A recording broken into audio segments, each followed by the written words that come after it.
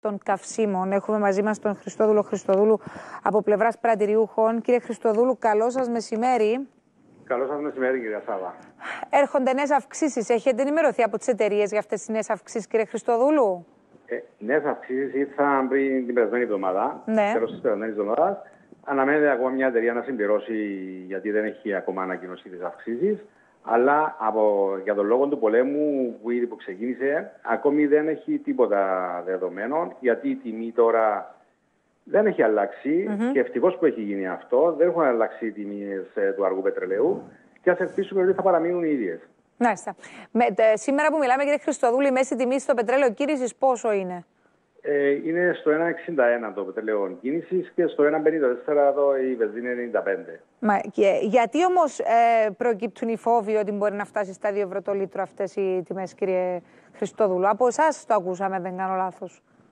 Ε, όταν αυξηθεί η τιμή του αργού πετρελαίου από τα 90 δολάρια που είναι τώρα περίπου και πάει στα 100 δολάρια, σίγουρα θα. Ναι, αλλά ξαναπήγε στα 100 δολάρια και δεν ήταν 2 ευρώ περίπου το πετρέλαιο, ήταν πιο κάτω, αν θυμάμαι καλά.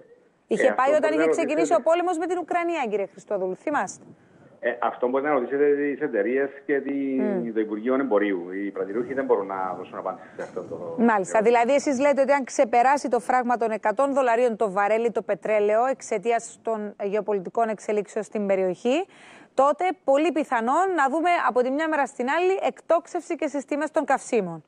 Ε, μα είναι φυσικό επαγόλουθο αυτό να γίνει. Αν αγοράσουν οι εταιρείες ακριβά, θα. Τι λέει η κίνηση στα πρατήρια, κύριε Χριστοδούλου, μετά και το τέλος της επιδότησης των καυσίμων από την κυβέρνηση; Ε, Τις πρώτες μέρες ήταν πολύ χαμηλή η κίνηση στα πρατήρια. Ναι. Γιατί ο κόσμος έτρεξε να προμηθευτεί να γεμίσει για να γλιτώσει έστω αυτόν το 1,5 ευρώ που είχε γλιτώσει. Ε, τώρα άρχισε πάλι η κίνηση να, να, να ανεβαίνει προς τα πρατήρια. Εντάξει, υπάρχει, υπάρχουν και τα κατεχόμενα. Δεν ξέρω αν έχει αυξηθεί η κίνηση προς τα κατεχόμενα. Μάλιστα. Όμως τώρα ε, επιστρέφουμε στα κανονικά επίπεδα.